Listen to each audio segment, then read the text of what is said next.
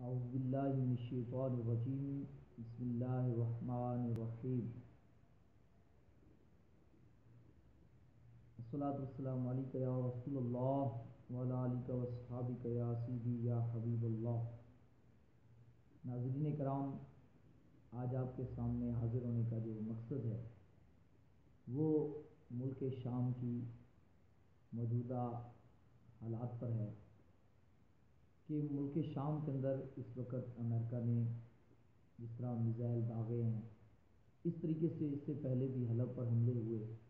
تو ملک شام پر کفر اس وقت ایک بھوکے شیر کی طرح ٹوٹا ہوا ہے، بھوکے شیر کی طرح وہ اس پر ٹوٹ پڑا ہے اور اس کے اندر اہل اسلام غور ہی نہیں کر رہے کہ آخر کفر ملت واحدہ ہو کر شام پر ہی کیوں حملہ آور ہے؟ اس کی آج میں مختصراً وجہ آپ کے سامنے رکھنا چاہتا ہوں۔ اصل وجہ یہ ہے کہ مسلمانوں کو ملک شام کی اہمیت کا علم نہیں، کہ اہل اسلام کے لیے ملک شام کی کیا اہمیت ہے۔ اور جو کفار ہیں، جتنے بھی ہیں، چاہے وہ حنود کی شکل میں ہیں، چاہے یہود کی شکل میں ہے چاہے وہ کرسچن کی شکل میں ہے عیسائیوں کی شکل میں ہے کسی شکل میں بھی کوئی کافر ہے۔ تو وہ کفار جو ہیں وہ صبح و شام ہمارے رسول انور صلی اللہ علیہ وسلم کے فرامین کو پڑھتے ہیں، ان پر غور کرتے ہیں۔ اور اس بات کو وہ دیکھتے ہیں کہ مسلمانوں کے نبی، ہمارے عقائد عالم رحمت عالمیان خاتم النبیین حضرت محمد مصطفیٰ کریم علیہ السلاط و تسلیم نے ہماری یعنی امت مسلمہ کی کون سی کمزور کون سی چیز کمزوری بیان فرمائی ہے؟ اور وہ اس ان چیزوں پر غور کرتے ہیں این جی اوز بنائی ہیں، انہوں نے تنظیمیں بنائی ہوئی ہیں، جو صبح و شام اس پر غور و فکر کر کے پھر اس چیز کو اہل اسلام پر اپلائی کرنے کا سوچتی ہیں کہ ان کو ہم مسلمانوں پر کس طرح اپلائی کریں، کس طرح اس چیز کو لاگو کریں جو ان کے نبی کریم علیہ السلام نے ان کی کمزوریاں بتائی ہیں، تاکہ ہم انہی سے فائدہ اٹھا کے امت مسلمہ کو پسپا کریں، امت مسلمہ کو زیر کریں۔ تو انہوں نے اسی طریقے سے شام کو بھی رسول اللہ کریم علیہ السلام کے فرامین میں، قرآن میں اور فکر سے پڑھا، پھر اس پر حملہ آور ہوئے ہیں۔ میں اس چیز کی وضاحت کرنا چاہتا ہوں مختصراً کہ شام کے بارے میں وہ کون سی چیز ہے جو کفار نے پڑھی ہے؟ اور وہ شام پر حملہ آور ہو چکے ہیں۔ حضور اصلاۃ تسلیم کا یہ فرمان ہے عقید عالم صلی اللہ علیہ وسلم، حضور خاتم النبیین صلی اللہ علیہ وسلم، آپ اشاعت فرماتے ہیں اضا فاسدہ اہل الشام فلا خیر فیکم. حضور اصلاۃ تسلیم نے فرمایا، جب اہل شام فاسد ہو جائیں گے یعنی اہل شام میں فساد بپا ہو جائے گا، تو پھر فلاں خیر فیکم۔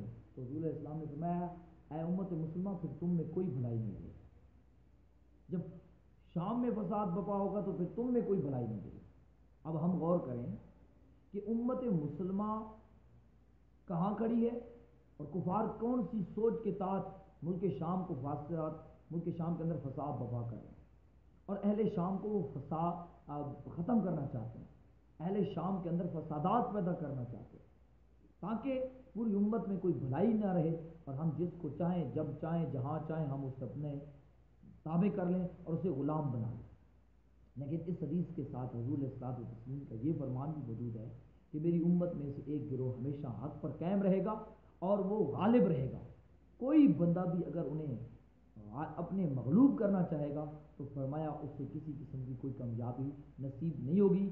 وہ مغلوب جو انہیں زیر کرنے کی کوشش کرے گا وہ خود زیر ہو جائے گا۔ ہاں اہل اسلام کے اندر ایک گروہ وہ ہمیشہ بلند رہے گا، غالب رہے گا۔ اس فرمان کو بھی انہوں نے سامنے رکھا ہوا ہے۔ اس لیے تو وہ صبح و شام پاکستان سے ڈوب اور کے مطالبے کرتے ہیں اور تاکہ جتنے بھی وہ لوگ جو اسلام کے لیے جہاد کا اپنے اندر ذہن رکھتے ہیں یا اس طرح کے کنسیپٹ ان کے نظریات ہیں، تو نصاب کے اندر اسکولوں کے نصاب کے اندر وہ جہاد کے ابواب کو، رسول اللہ کی سیرت کو ساری چیزوں کو ختم کروا رہے ہیں۔ اور اس طریقے سے وہ مسلمانوں پر حملہ آور ہیں۔ انہیں ہمیشہ علم ہے کہ ہم کبھی بھی ایٹمی طاقت کے ذریعے، میزائل کے ذریعے، تلوار کے ذریعے، طاقت کے ذریعے مسلمانوں کو مغلوب نہیں کر سکتے۔ ہم انہیں مغلوب کر سکتے ہیں۔ تو انہیں ان کی ان کمزوریوں سے مغلوب کر سکتے ہیں جو ان کے رسول کریم علیہ السلام نے ہمیں بتائی ہیں۔ تو مسلمانوں کو میں ایک پیغام دینا چاہتا ہوں، حکمرانوں کو، اہل اسلام کو، کہ ملک شام کی اہمیت کو سمجھیں۔ پڑھیں، اس کا مطالعہ کریں۔ انشاءاللہ میں اس پر جمعہ المبارک کے موضوع میں تفصیلی خطاب بھی کروں گا۔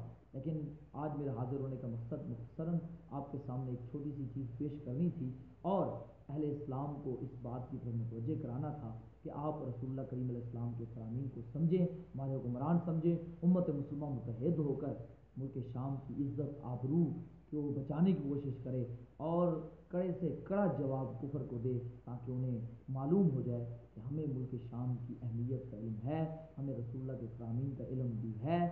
تم جس طریقے سے ہم پر حملہ کرو گے ہم انشاءاللہ بھرپور طریقے سے اس کا جواب دیں گے۔ اللہ تبارک و تعالی ہم سب کو، ہمارے حکمرانوں کو، ہم تمام اہل ایمان کو، حضور الصلاۃ تسلیم کی سیرت کو سمجھنے، آپ کے فرامین کو پڑھنے، سمجھنے اور ان پر عمل پیرا ہونے کی توفیق عطا فرمائے۔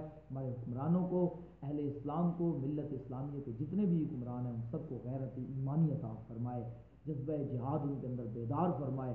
اللہ رب العزت ملک شام کی حفاظت فرمائے۔ آمین۔ بجاہ تحو یاسین اجمعین برحمتک یا ارحم الراحمین۔